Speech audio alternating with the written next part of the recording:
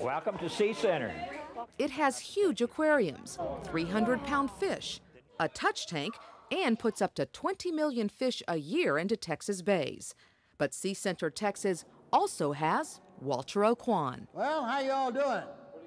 What do you think about them big fish back there? I need one of you to sign up for me here, please. England, no less. Golly. Y'all swim across? Yes. I never was a fisherman, but when I found out, when I got out of here, they didn't need fishermen. They just need people to volunteer. You all slipped in without signing in?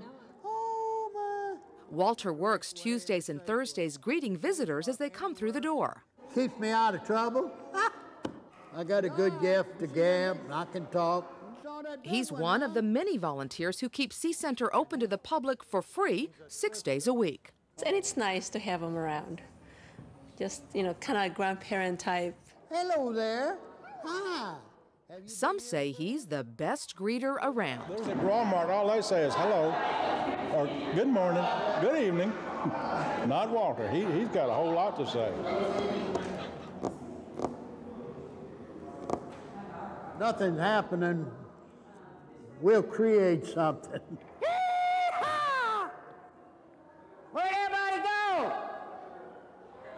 Yes, there's a lot to see at Sea Center.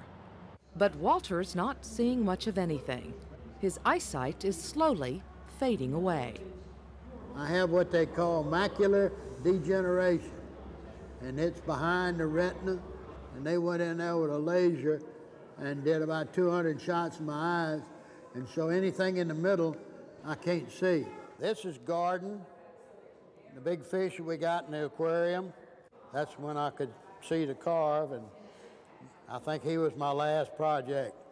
He keeps a sense of humor, though. That's been my nature ever since I was born, I guess. Full of bull and spreading it. and his coworkers like having him around. Are you going to take my place? Did nobody ever take your place, you know that.